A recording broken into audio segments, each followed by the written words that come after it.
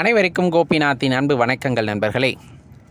ஒருத்தருக்கு குலதெய்வத்தோட அருள் அப்படிங்கிறது எளிதில் கிடைத்து விடுமா அப்படின்னா ரொம்ப எளிதில் கிடைத்திடும். தொடர்ந்து பக்தி செய்வதன் காரணமாக அன்பாக இருப்பதன் காரணமாக குலதெய்வத்தின் பெயரை சொல்லி அன்னதானங்கள் செய்வதன் மூலமாக தான தர்மங்கள் செய்வதன் மூலமாக அந்த குலதெய்வத்தோட அருளை எளிதில் பெற்றலாம். தொடர்ந்து வழிபாடு செய்வதன் மூலமாக கூட. ஆனால் இந்த குலதெய்வ சாபம்னு ஒரு வார்த்தையை கேள்விப்பட்டிருக்கீங்களான்னு தெரியல. அந்த குலதெய்வ சாபம் உடனே ஒருத்தருக்கு வந்துடுமா அப்படின்னா கிடையாது. குலதெய்வம் தனது வம்சத்தில் வருகின்ற எல்லாத்தையும் தன்னோட குழந்தைகளா பேரப்பிள்ளைகளா பார்ப்பதன் காரணமாக அவ்வளவு சீக்கிரம் ஒருத்தர் மீது வந்து குலதெய்வத்திற்கு வெறுப்பு வராது. அதையும் மீறி அந்த குலதெய்வ சாபம் வந்து சேர்கிறது அப்படின்னா எதனால் அப்படின்னு பார்த்தா ஒரு சில காரணிகள் அதில் இருக்கத்தான் செய்கிறது. அதில் ஒன்று குலதெய்வ ஆலயத்தை பராமரிக்காமல் அந்த குலதெய்வ ஆலயம் வந்துட்டு இடிஞ்சு போயிடும் சதஞ்சு போயிடும். அதில் கிட்டத்தட்ட ஒரு நூற்றுக்கணக்கான பங்காளிகள் இருந்தாலும் சரி இல்லை ஒன்று ரெண்டு பங்காளிகள் இருந்தாலும் சரி அதை முடிஞ்ச அளவுக்கு ஒரு கீத்து கொட்டகனாச்சும் போட்டு நலையாமல் வச்சுருக்கணும். அந்த கோவில் பாலடைந்து விடுகிறது அழிந்து போய் விடுகிறது அப்படிங்கும்போது அந்த தெய்வத்தோடைய அந்த மனக்குறை அப்படிங்கிறது தான் அந்த சாபமாக வருது அப்படிங்கிறாங்க. மனக்குறை அவ்வளவுதான். சரி வேறு எந்த விதத்தில் வரும் அப்படின்னா ஒரு குலதெய்வத்தோட வழிபாடு தொடர்ந்து நடைபெற்றுக்கின்ற நடைபெற்று கொண்டிருக்கிறது. அதை தடுக்கும் விதமாக அல்லது அதை கெடுக்கும் விதமாக யாராலும் செயல்பட்டார்களேயானால் அவர்களுக்கு அந்த மனக்குறையானது ஏற்படுகிறது. இந்த சாபம்னு சொல்லக்கூடிய விஷயமானது தேடி வருகிறது. ஏன்னா குலதெய்வ வழிபாடு அப்படிங்கிறது தெய்வத்திற்கான வழிபாடு மட்டுமல்ல. சொந்த பந்தங்கள் எல்லாம் கூடி சந்தோஷமாக இருப்பதற்கான ஒரு இடமும் கூட. அந்த சந்தோஷத்தை கெடுக்க யாராவது முற்படுகிறார்கள் அப்படின்னா அந்த ஒரு சின்ன மன வருத்தம் அந்த இடத்துல ஏற்படுது இல்லையா? அது தெய்வத்தை பொறுத்தளவு சாபமாக நாம் கருதி கொள்கின்றோம். அந்த சாபமானது வந்து சேர்கிறது அப்படின்ட்டு.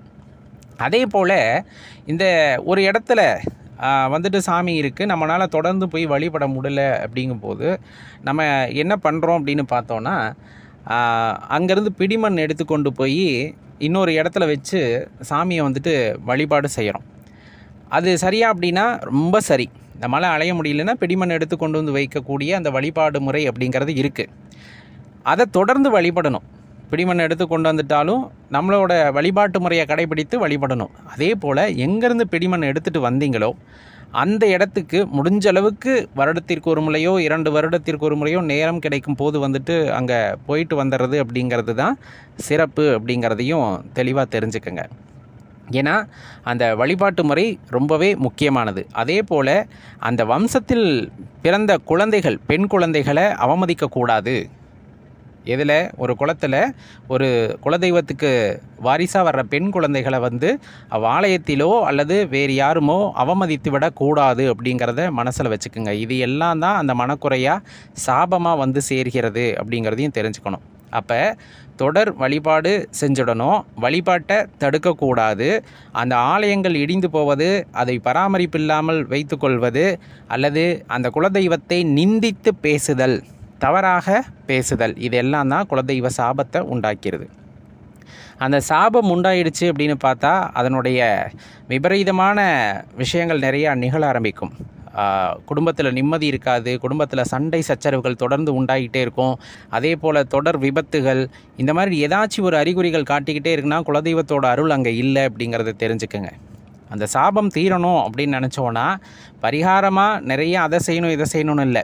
தொடர்ந்து குலதெய்வத்திற்கு போய் விலக்கேற்றுங்க மனசார மன்னிப்பு கேட்டு அந்த ஆலயத்தோட வழிபாட்டை உறுதி செய்து விட்டீர்கள் அப்படிங்கும்போது கண்டிப்பாக அந்த கருணை பார்வை உங்களால் பெற முடியும். அதுதான் உங்கள் வம்ச விருத்திக்கு வழிவகுக்கும் குடும்பத்தில் மகிழ்ச்சியை உண்டாக்கும் அப்படிங்கிறத மறந்துடாதீர்கள் நண்பர்களே.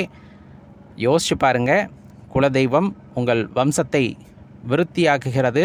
வம்சத்தை அமைதியாகவும் சந்தோஷமாகவும் நல்ல செல்வ செழிப்புடனும் வாழ வைக்கிறார்கள் அப்படிங்கும்போது அவர்களுக்கான முறையான வழிபாட்டு முறைகளை கடைபிடித்து வருடம் ஒரு முறையாவது பூஜை கொடுத்து விட வேண்டும். அது எப்போவுமே தடைபடாமல் பார்த்துக்கிறது அந்த குளத்தில் வந்த ஒவ்வொருத்தரோட பொறுப்பும் கூட அப்படிங்கிறத ஞாபகம் வச்சுக்கோங்க. மறக்காமல் இந்த பதிவு உங்கள் நண்பர்களோடையும் பகிர்ந்துக்குங்க. நன்றி வணக்கம்.